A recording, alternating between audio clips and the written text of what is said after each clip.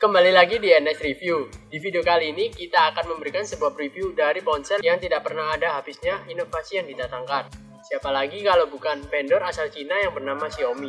Setelah sukses dengan keempat seri Redmi Note-nya, Xiaomi kembali menghadirkan seri kelima, yaitu Xiaomi Redmi Note 5 yang baru saja dirilis. Penasaran apa saja keunggulan dan spesifikasi Xiaomi Redmi Note 5 ini?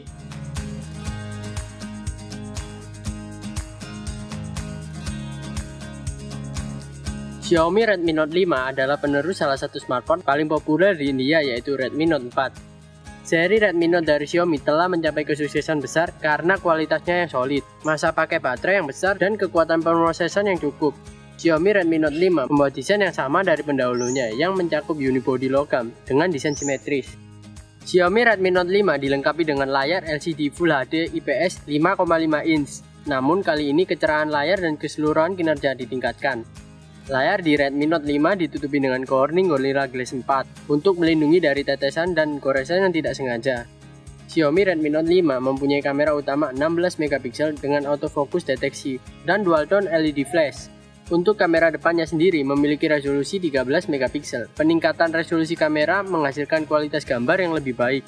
Xiaomi telah menggunakan prosesor Qualcomm Snapdragon 660 untuk Redmi Note 5 namun masih ketinggalan dalam hal kinerja dan efisiensi daya.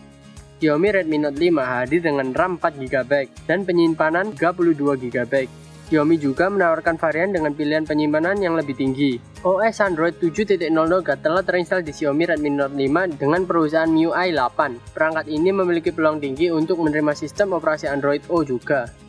Xiaomi Redmi Note 5 mengemas baterai lithium polymer 3790 mAh yang tidak dapat dilepas Baterai dari Xiaomi Redmi Note 5 lebih kecil dari yang ditemukan pada pendahulunya, tapi tidak banyak bedanya karena konsumsi baterai diurus oleh pengoptimalan baterai Android Nougat. Kali ini Xiaomi telah melengkapi perangkatnya dengan Quick Charge 3.0 untuk pengisian lebih cepat, lebih dingin, dan efisien. Xiaomi Redmi Note 5 dihubungkan melalui dual standby 4G LTE, dual SIM bersamaan dengan dual band Wi-Fi, Bluetooth 4.2 dan port USB Type-C. Xiaomi tampaknya tidak hanya akan membesut Redmi Note 5 dalam satu varian saja, sebab beredar foto penampakan Redmi Note 5A di dunia maya.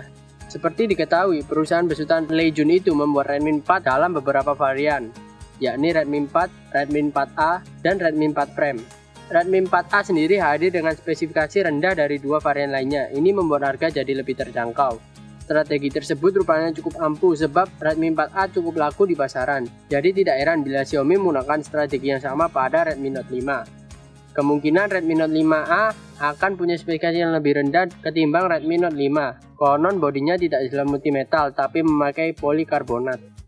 Itulah beberapa keunggulan dan spesifikasi dari Xiaomi Redmi Note 5 yang masih dirumorkan kedatangannya di Indonesia. Kita tunggu saja kabar resmi dari Xiaomi dan jangan lupa saksikan video menarik lainnya di channel NS Review.